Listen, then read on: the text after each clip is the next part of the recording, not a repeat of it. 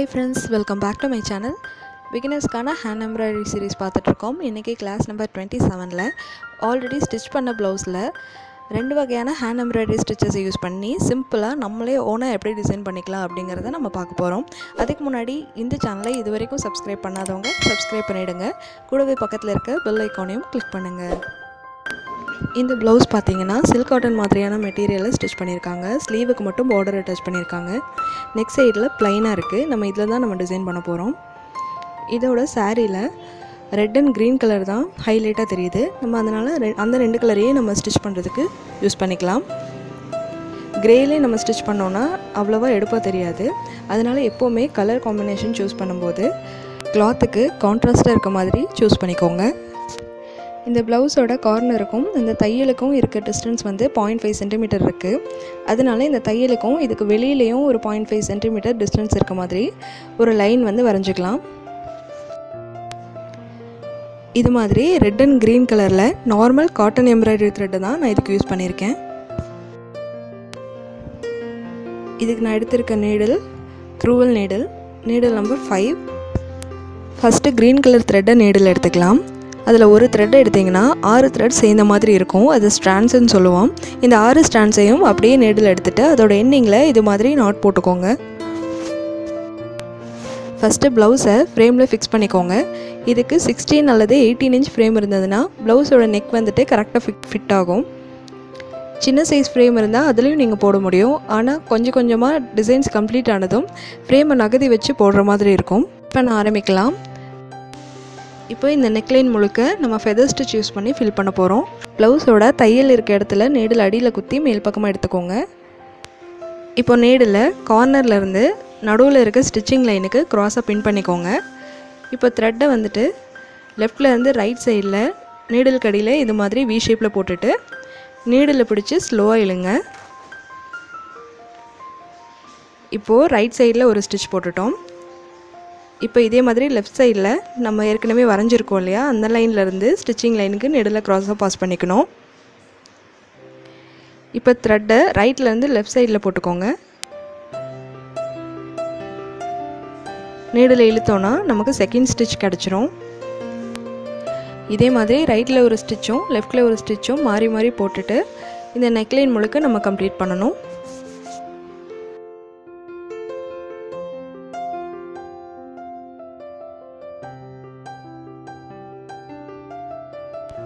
அதாவது கார்னரையும் ஸ்டிச்சிங் லைனையும் பின் பண்ணிவிட்டு ஒரு ஸ்டிச் போடணும்.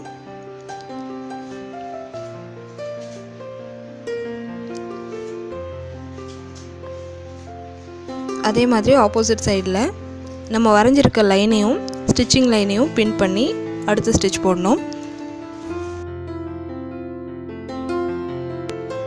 நான் ஏற்கனவே இந்த ஃபெதர் ஸ்டிச்சோட டீட்டெயிலான வீடியோ நான் அப்லோட் பண்ணியிருக்கேன். நீங்கள் அதை மிஸ் பண்ணியிருந்தீங்கன்னா டிஸ்கிரிப்ஷனில் லிங்க் கொடுத்துருக்கேன். நீங்கள் அதில் போய் செக் பண்ணி பாருங்கள் நீங்கள் அதை ப்ராக்டிஸ் பண்ணிவிட்டு நீங்கள் ப்ளவுஸில் போடும்போது உங்களுக்கு இன்னுமே ரொம்ப ஈஸியாக இருக்கும்.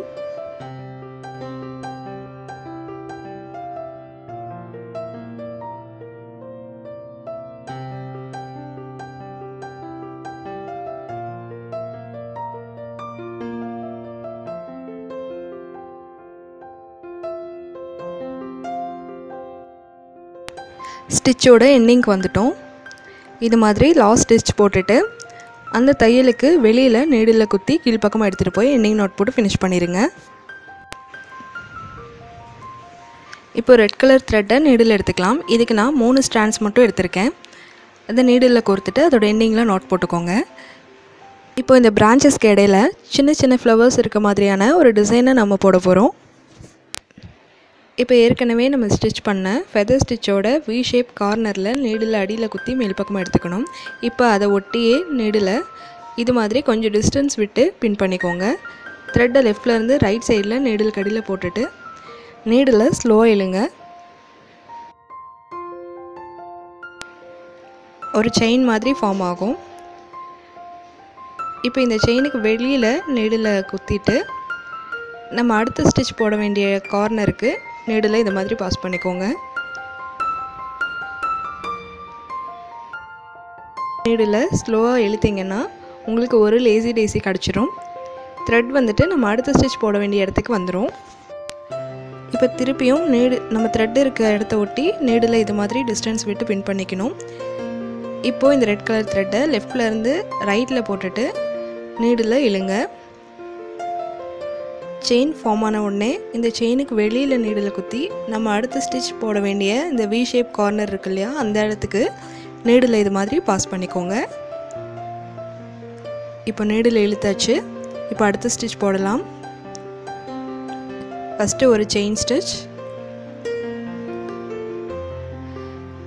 அதுக்கப்புறம் அதை லாக் பண்ணுற இடத்துல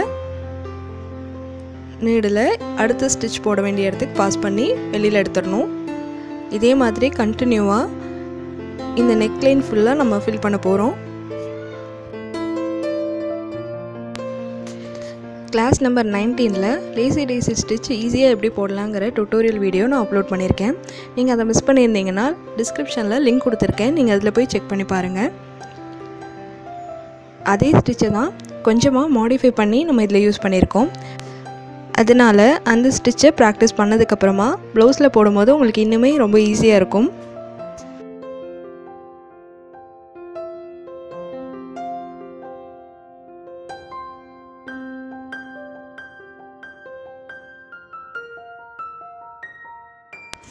ஒரு half an hour time spend பண்ணிங்கன்னா உங்களோட ப்ளவுஸை நீங்களே ஓனாக உங்களோட க்ரியேட்டிவிட்டிக்கு தகுந்த மாதிரி சூப்பராக டிசைன் பண்ணிக்க முடியும்.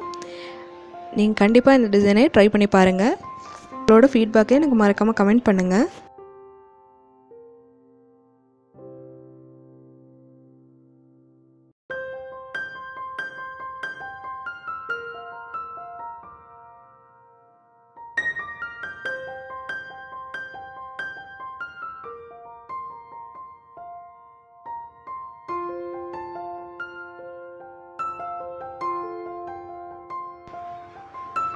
நீங்கள் ஹேண்ட் எம்ப்ராய்டரியில் ரொம்பவே இன்ட்ரெஸ்டடாக இருந்தீங்கன்னா பிகினிங் ஸ்டேஜில் இருந்தீங்கன்னா இந்த வீடியோக்கு மேலே தெரிகிற ஐ சிம்பிளை கிளிக் பண்ணுங்கள் அதில் என்னோட பிக்னஸ் எம்ப்ராய்டரி அப்படிங்கிற ப்ளேலிஸ்ட் ஓப்பன் ஆகும். நீங்கள் அதில் போனீங்கன்னா நான் இது வரைக்கும் அப்லோட் பண்ணியிருக்க எல்லா கிளாஸஸுமே அதில் இருக்குது நீங்கள் ஒவ்வொரு ஸ்டிச்சு தான் ப்ராக்டிஸ் பண்ணிட்டு வந்தீங்கன்னா உங்களுக்கு ரொம்பவே யூஸ்ஃபுல்லாக இருக்கும்.